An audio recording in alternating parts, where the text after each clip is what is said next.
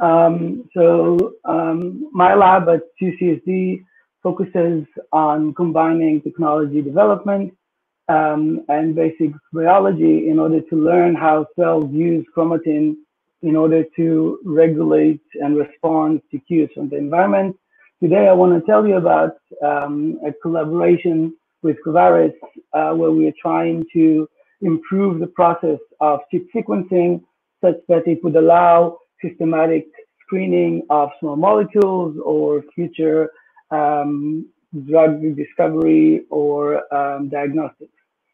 Um, so in general, my plan is to give a short outline, um, a short introduction of the process, um, talk a bit about our automated chip sequencing and how we are developing and optimizing the AFA accelerated chip sequencing process. Um, as you're all familiar with that, um, the, the, DNA is wrapped around um, nucleosomes that allow um, the tight regulation of chromatin.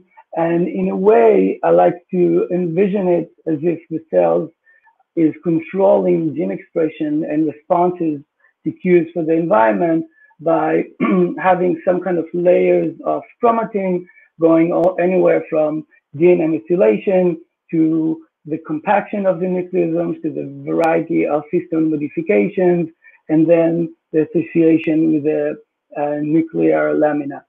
Um, and another way to look at it is perhaps as if the cells have some kind of dashboard that allow them to control which promoters are going to be inactive, poised, or active, which enhancers are going to be inactive, poised, or active, and which regions the regulatory regions are going to be on um, large scale, large, large scale repression, either stably or transient.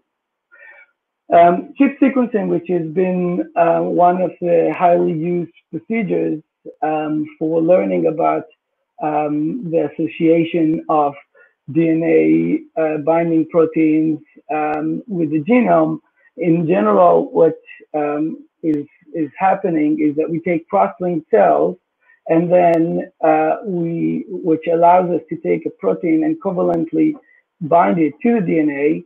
We shear the the chromatin, the DNA and associated proteins into small fragments, we take an antibody that specifically recognizes the protein of interest or a modification of this protein, and then we pull the, this antibody, which in turn pulls the protein that is linked to the DNA, and this allows us to fractionate the genome into what was in association with this protein of interest and the rest of the genome.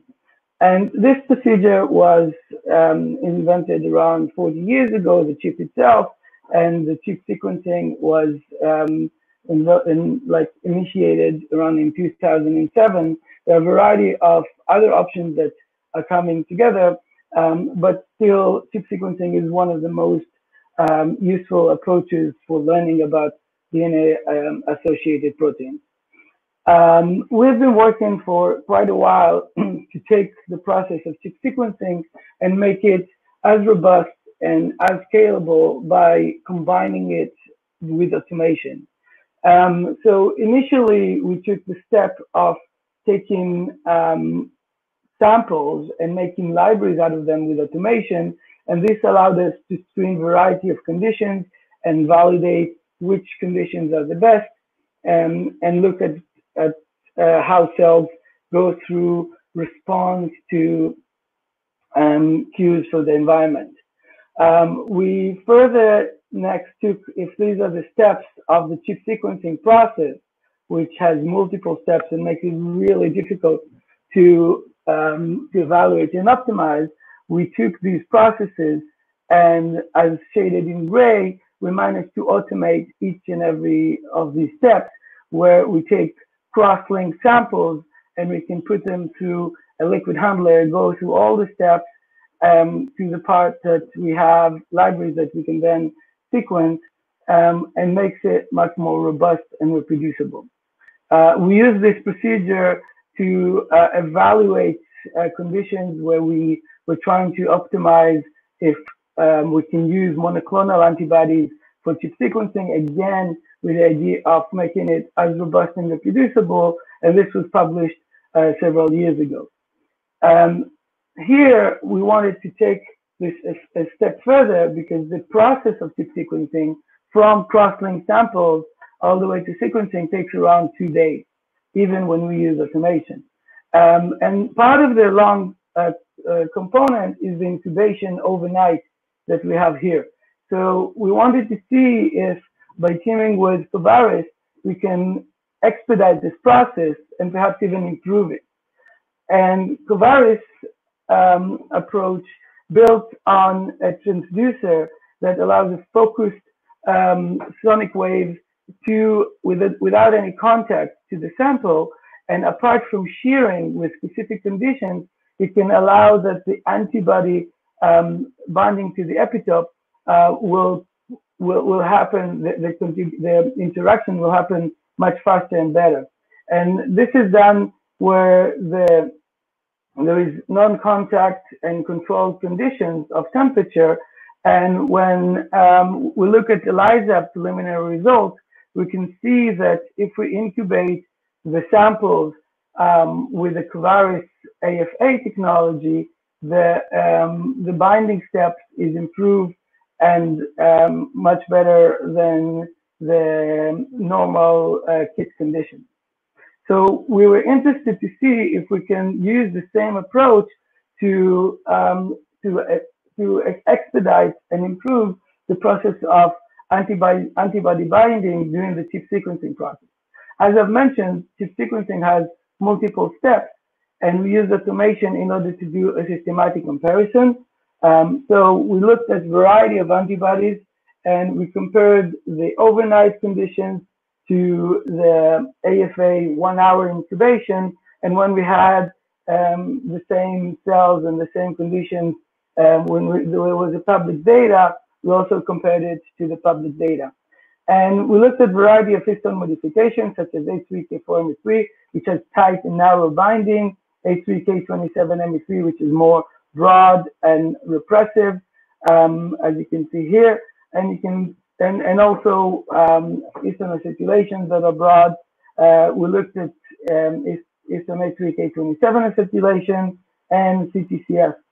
And we saw that using the AFA, we had very uh, similar um, maps to um, the public maps or the ones where we incubated overnight.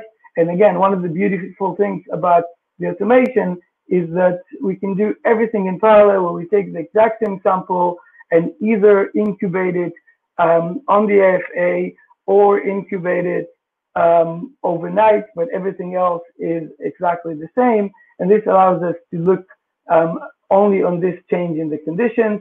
And when we look at, um, on the on uh, on the entire genome using 1 kb bins, um, we can see that there is a really tight association between um, the overnight and the AFA conditions, showing that um, the process, while expedited, um, doesn't have any impact.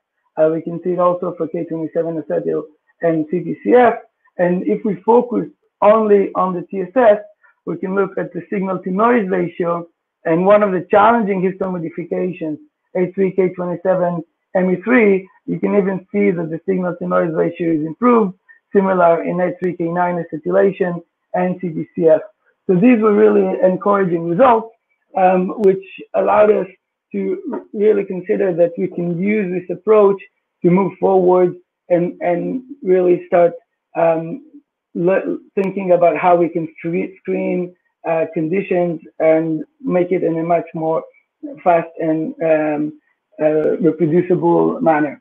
So to summarize, um, the AFA allows us to expedite the immunoprecipitation process um, from the overnight time that it takes to approximately an hour or less, um, while improving or at least maintaining the signal to noise ratio of uh, the chip sequencing. Um, this is where we're developing a novel use of the AFA that would allow enhancing and simplifying the chip sequencing process. And we envision it that this could be highly useful um, for research and drug development and drug screening or for clinical diagnostic applications. Um, I want to thank um, the people that have led this work, um, which uh, Jonathan Young, which is now um, um, studying for MD, and um, Polo, which is an undergrad on his fourth year. I, I want to thank Sharona, a postdoc in the lab that has been helpful in uh, leading this forward, NSF and NIH um, as well as other uh, funding agencies um, um, for funding, and Covaris, uh, and in particular, Hamid, that was a terrific collaborator in pushing this forward. So again, these are the conclusions, and I'm happy to take um, any questions.